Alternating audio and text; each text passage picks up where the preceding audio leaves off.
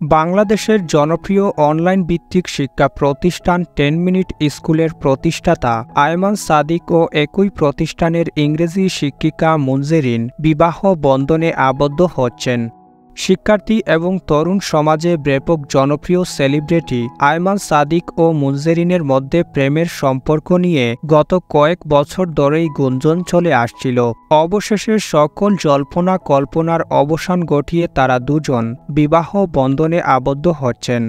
সামাজিক যোগাযোগ মাধ্যমে আয়মান সাদিক ও মুনজেরিনের বিয়ের সংক্রান্ত একটি খবর ভাইরাল হয়েছে। এ নিয়ে নেটিজেনদের মাঝে দেখা দিয়েছে হইচই।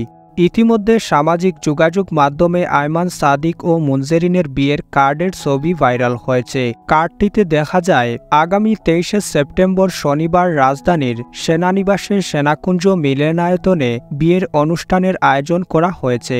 দুজনের বিয়ের অনুষ্ঠানের আমন্ত্রণ পত্রের ছবি দিয়ে আয়মান সাদিক ও মুনজেরিনের নিকট আত্মীয় অনেকেই বিয়ের কথা উল্লেখ করে অভিনন্দন জানাচ্ছেন। কুমিল্লায় জন্ম নেওয়া আয়মান সাদিক একজন বাংলাদেশি শিক্ষা উদ্যোক্তা এবং ইন্টারনেট ব্যক্তিত্ব।